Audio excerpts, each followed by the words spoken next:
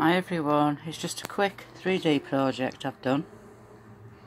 It's an oven, but take the lid off. I haven't finished it yet. That does go there. And inside, there's room to put a bun or a cake.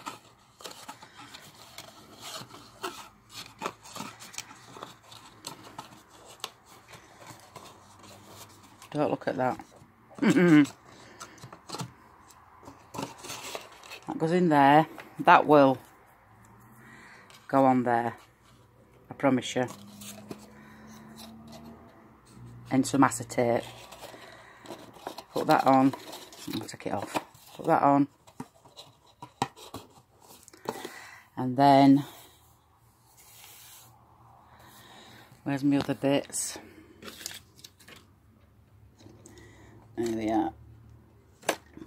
This will go on there and along.